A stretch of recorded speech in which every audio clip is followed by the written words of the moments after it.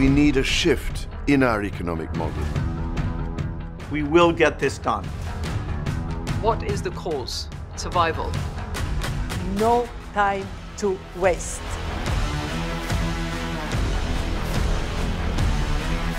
The eyes of the whole world will be on COP. We're no longer asking if we can transition, but instead asking how we get there.